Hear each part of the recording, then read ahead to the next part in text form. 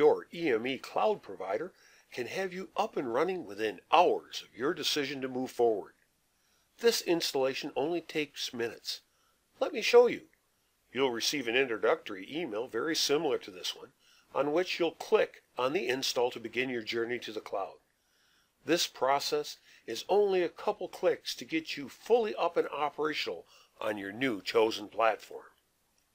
The Launchpad provides security and performance controls in a seamless and easy to use delivery method. At this point in time, Launchpad has fully installed, and all we need to do is leverage the username that was given to us in our introductory email. How much simpler could this be? So let's take this username and enter it here to continue on our journey to the cloud.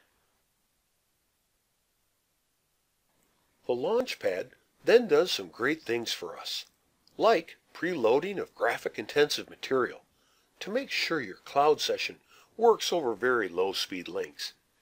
It also finds the best path to the cloud in order to make your cloud experience function at peak efficiencies.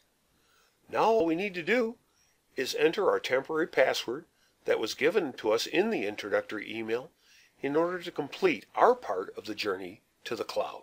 So let's close out some of these extra screens while the Launchpad tells the cloud to start up your cloud desktop.